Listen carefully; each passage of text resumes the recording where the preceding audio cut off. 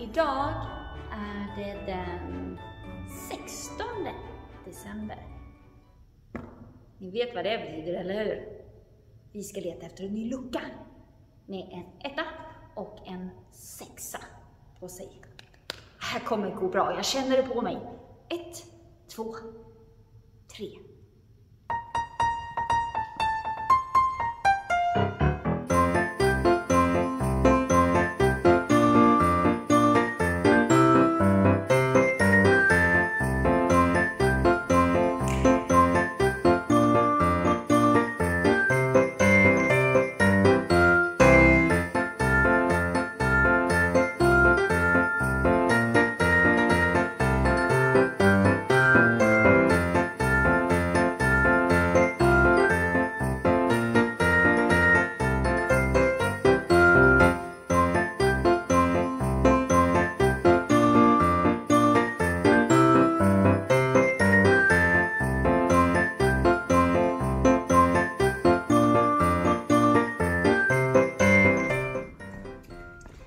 Har hittat den.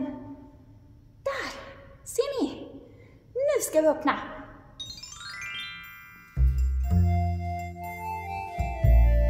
Mer om oss.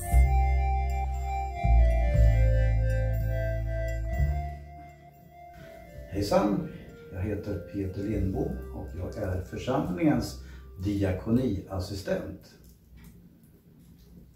Man kanske undrar vad en diakoniassistent gör, eller överhuvudtaget vad är diakoni? Diakoni det är ju församlingens sociala arbete. Då kanske man funderar på vad sociala arbetet är. Det ska jag försöka förklara lite grann. Det sociala arbetet i församlingen det består av vi har tre kaféer. Ett är i Tuna församlingshem varje onsdag under terminen. Det är lite uppehåll vid jul och lite uppehåll på sommaren, men där har vi kaféer. Dit kan man komma och samtala, dricka kaffe och träffa andra människor. Det kan hända att det är den viktigaste träffpunkten för hela veckan för någon som är helt ensam. Kan man komma dit och träffa andra. Man kan komma dit om man träffar massa andra människor också, men kanske det viktigast för de som är helt ensamma. Det blir en träffpunkt.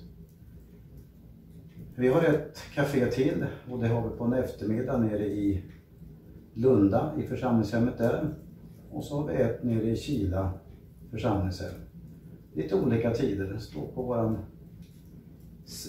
webb, datasida eller webbsida var man kan gå. Ja, sen kanske man undrar vad man gör mera för diakonala insatser. Jo, vi träffar folk som har det svårt. Det kanske inte är alla som har det så lätt. Och då samtalar vi med dem också och kanske får dem att må lite bättre. Eller vi kan åtminstone lyssna. För lyssna är bra. Så att andra kan få prata. Vi kan inte lösa allting, men vi kan lyssna. Också jätteviktigt. Och de här tiderna på året så brukar vi ha ett jättestort julbord där vi bjuder in alla som är ensamma och alla som har gjort någonting i församlingen. Alla som vill, vi vill visa uppskattning och det kan vi inte göra i år. Men den här blomman får symbolisera det. Och i år så åker vi runt till alla 80, 90 och 100-åringar.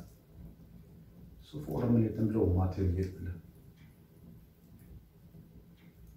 Ja, det var det diakoni handlar om. Hej då!